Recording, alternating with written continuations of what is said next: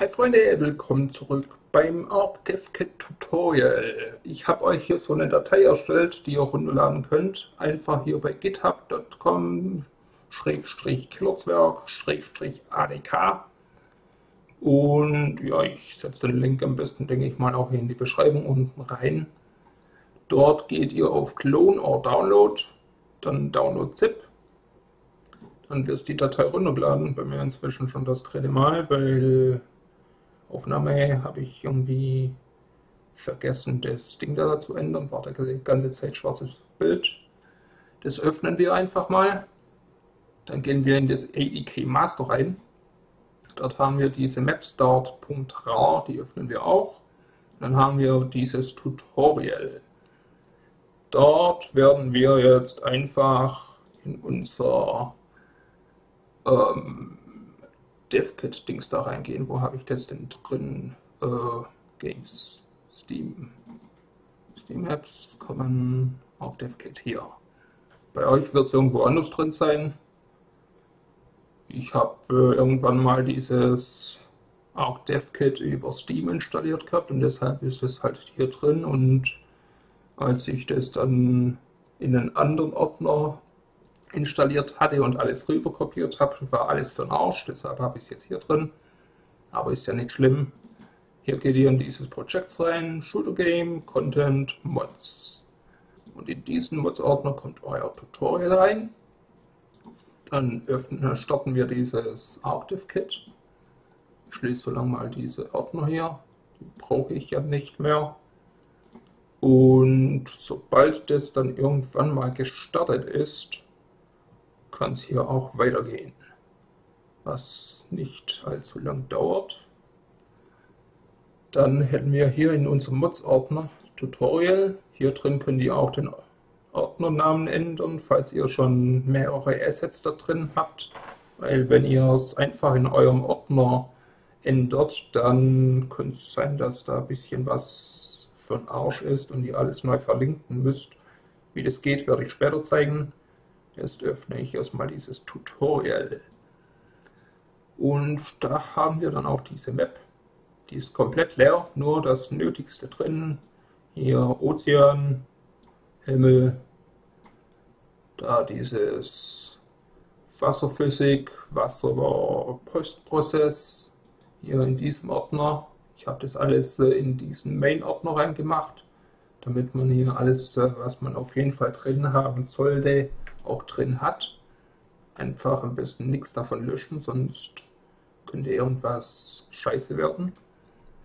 Und ja, ihr seht jetzt hier diese Löcher. Die sind einfach für die offiziellen Höhlen. Das interessiert uns aber nicht. Wir wollen ja zurzeit noch keine Höhlen. Also vergrößere ich das mal. Dann sind auch die Wellen größer, was mir persönlich besser gefällt. Dann schiebe ich das Ganze mal darüber ein bisschen und darüber, so ungefähr.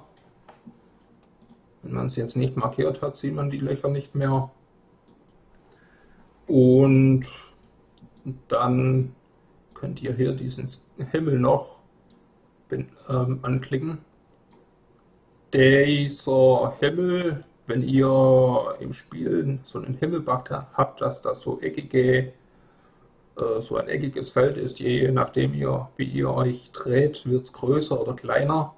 Dann macht ihr einfach hier den Himmel ein bisschen größer und dann sollte der Bug auch weg sein. Was hätten wir denn noch Wichtiges? Das Snow Biome Volume. In diesem äh, Volume, wenn es normalerweise regnet, schneit es da drin. Und wenn ihr da näher rangeht, Ihr seht jetzt da oben, die Wolke ist rötlich. Wenn wir reingehen, dann wird sie so ja, bisschen trüb. Aber das ist auch so gewollt, weil euer Schnee da drin, wenn ihr draußen seid, blendet, blendet der Schnee. Wenn ihr drinnen seid, dann wird er nicht mehr so blenden, dann ist es einfach nur noch ein bisschen graulicher und ja, man kann besser rumlaufen, ohne dass man die ganze Zeit geblendet ist. Wenn ihr dieses äh, Snowbiome Volume kopieren wollt, dann müsst ihr auch hier oben Level Blueprint machen. Ich kopiere das mal kurz. Dann verschiebe ich das raus. So, ein bisschen weiter noch. Es sollen ja zwei eigene sein. Dann haben wir hier unten, also da ist ganz oben, da ist ein bisschen was, hier ist das meiste.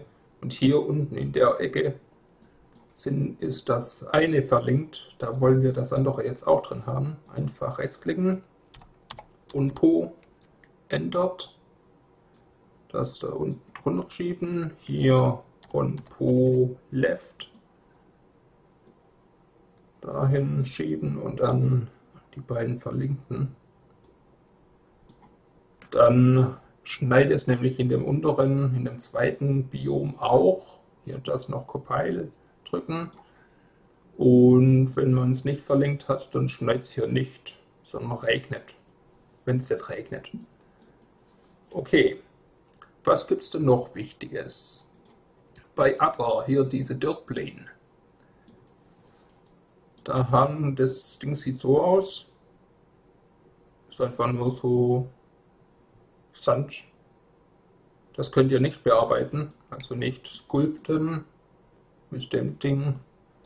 Das einfach da unten lassen. Ist auf äh, minus 46.000 und das sagt, so tief solltet ihr ungefähr eure Map machen, damit die Mosasaurier, Plesiosaurier und so spawnen können, falls ihr nicht eure eigenen Dinos reinmacht. Und ja, dann hätten wir da noch ein Starting Camera. Das ist jetzt hier. Das sagt einfach nur, wenn ihr einen neuen Charakter erstellt, seht ihr im Hintergrund so ein Bildchen, so ein Kartenausschnitt. Und genau das ist diese Starting-Kamera. Die könnt ihr so verschieben, wie ihr es wollt. Unter Wasser, über Wasser, im Dschungel, im Wald oder ihr könnt sie auch einfach hochsetzen, bisschen höher vielleicht noch. Und dann so verschieben, dass sie nach unten guckt, 90 Grad ungefähr. Dann habt ihr eine Sicht von oben auf eure Insel runter oder eben wieder hoch oder ein bisschen steil oder so wie ihr das halt, halt haben möchtet. Okay. Dann hätten wir unter Lighting das Global Post Process Volume. Wenn ihr zum Beispiel sagt, ich will eine Map machen, die in der Hölle spielt.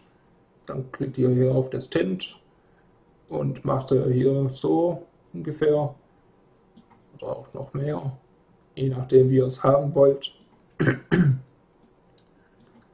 Cancel mache ich jetzt mal, weil ich will keine Hölle bauen. Und dann gibt es noch die Direction Light, dazu kommen wir später. Skylight, das einfach lassen am besten. Dayweather, dort ist hier dieser Himmel drin. Dazu komme ich auch noch später, was man hier noch so alles machen kann. Billboards hatte ich, glaube ich, schon erklärt. Ich glaube ja. Falls nicht, egal. Einfach hier euren, den Namen von dem Gebiet ändern. Was mache ich denn jetzt? Egal. Dann ist auf einmal ein oder A1, so wie ihr es halt haben wollt. Hier ist A1, A2, A3, Insel 1, Insel 2, Insel 3 oder was auch immer, so dass ihr halt schnell das Gebiet findet. So, ich glaube, das war's jetzt. Hiermit könnt ihr anfangen. Ihr wisst ja, hier Landscape, wie im ersten Tutorial halt gezeigt. Und ja. Dann sage ich mal Tschüss. Ich hoffe, es hat euch gefallen und bis zum nächsten Mal.